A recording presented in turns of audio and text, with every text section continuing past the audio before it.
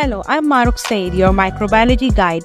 Let's explore in-depth micro techniques and uncover groundbreaking insight together on this educational journey into the fascinating realms of microbes. Bile solubility test.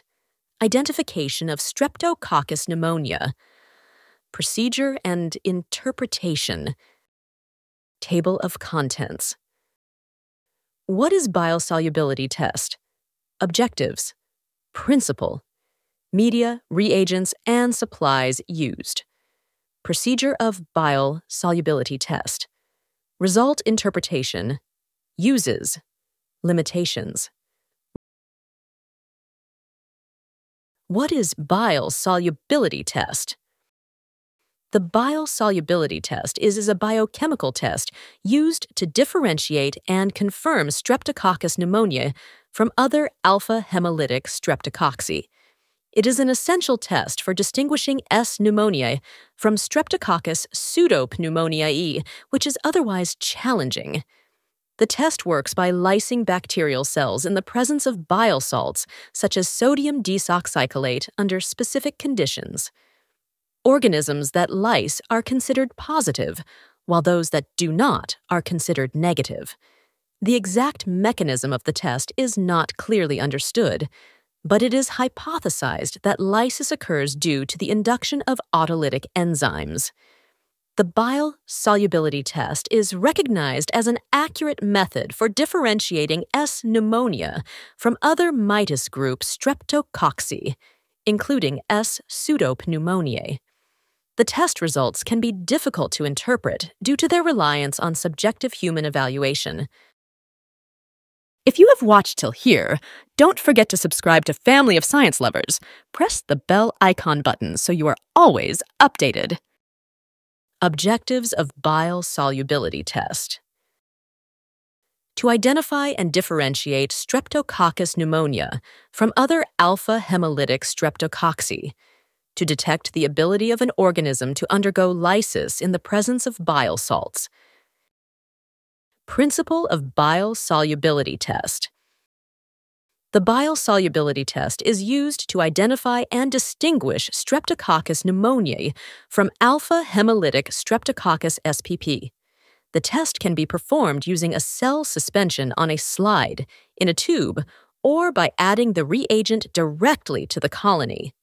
The test is based on the lysis of pneumococcal cells when sodium desoxycholate, also known as bile salts, is applied under specific time and temperature conditions, while other streptococci do not lyse. Streptococcus pneumonia possesses an intracellular autolytic enzyme, an amidase, which causes the organism to undergo rapid autolysis when grown on an artificial medium. Bile salts alter the surface tension of the medium and cause cell membrane rearrangement. The exact working mechanism of the test is not clearly understood, but it is hypothesized that bile salts activate the autolytic enzyme, leading to lysis of pneumococcal cells. Microorganisms tested. Any alpha hemolytic, catalase negative, gram positive cocci in chains with a central depression, flattened center, or mucoid colony morphology suggestive of S. pneumoniae any gram positive cocci in lancet shaped pairs from a positive blood culture. Media, reagents, and supplies used. Reagents. First bile salts. A 10% bile salt solution can be purchased or prepared by dissolving 10 grams of sodium desoxycholate in 100 milliliters of distilled water. The solution should be dispensed in small amounts to minimize contamination.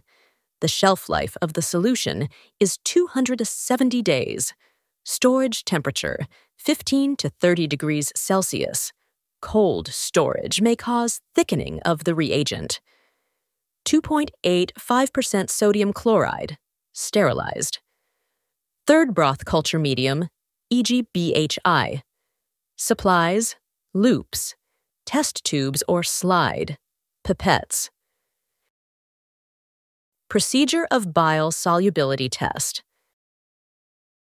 Bile solubility test can be performed using the test tube method, direct plate method, or direct slide blood culture method.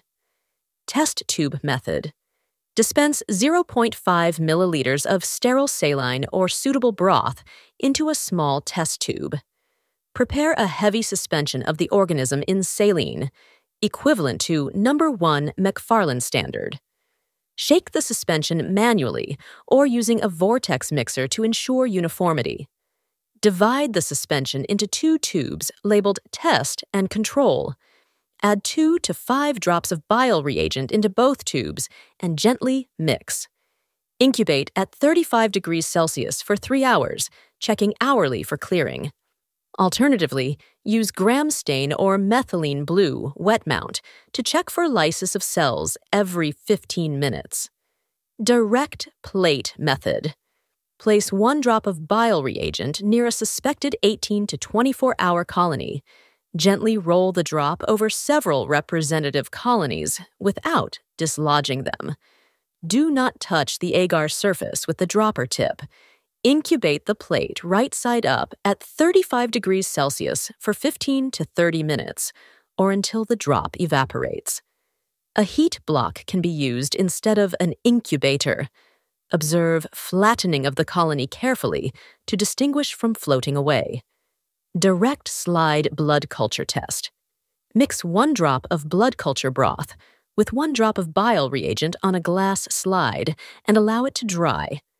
As a control, mix one drop of blood culture broth with one drop of water and allow it to dry. Gram stain the suspension and examine for cocci. Quality control. Use two organisms as positive and negative controls.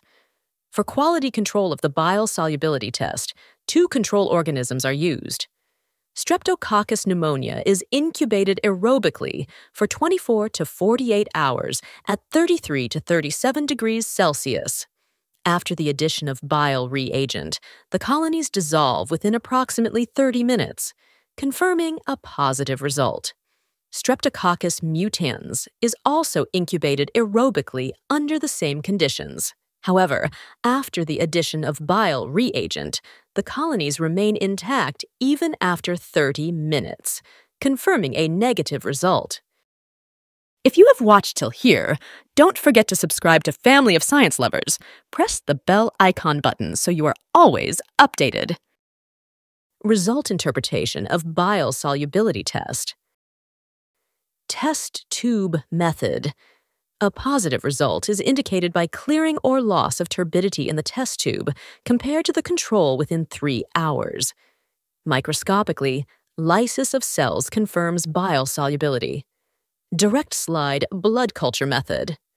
If all cocci in the smear are completely lysed, while the control smear retains intact bacteria, the organism is bile soluble, positive result. Direct plate method. A positive result appears as disintegration or flattening of the colony within 30 minutes, leaving a clear area of alpha hemolysis where the colony was. A negative result occurs when the colony remains intact, without any visible changes within 30 minutes. Reporting results. If either the spot or tube test confirms bile solubility in an alpha hemolytic, catalase negative, gram positive, lancet shaped coccus, it should be definitively reported as streptococcus pneumonia. If bile solubility is not observed, the organism is likely a viridans group Streptococcus. However, since a small percentage of bile resistant strains may still be S. pneumonia, Further testing is recommended for typical pneumococcal colonies. Uses of bile solubility test.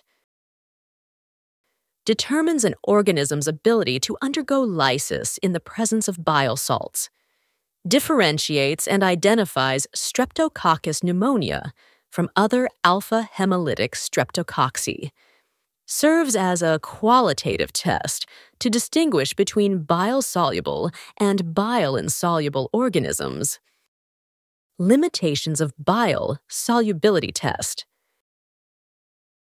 some S. pneumonia strains may not lyse in bile due to the loss of virulence factors, or capsule. In such cases, further identification methods like optochin susceptibility, DNA probe, or MALDI TOF should be used. The test is only applicable for differentiating S. pneumoniae from other alpha hemolytic streptococci. For greater specificity, tube test positive but spot test negative strains should be confirmed using optochin disc test, DNA probe, or MALDI-TOF. High bile salt concentrations may inhibit the normal autolysis of S. pneumonia. Evaporation can cause the reagent to become more concentrated, leading to incorrect results. The test is not reliable for old cultures that have already undergone autolysis. When using the tube test, the pH of saline or unbuffered broth must be neutralized before adding the reagent to avoid false negative results. In the plate method, improper technique may dislodge the colony, leading to false positive results. If the results are unclear, the test should be repeated using the tube or slide method. Cold storage of the reagent may cause it to thicken. Before use, it should be warmed in a 37 degrees Celsius incubator to, to restore its liquidity. Thank you so much for watching. Don't forget to subscribe to my channel, press the bell icon button. Thank you!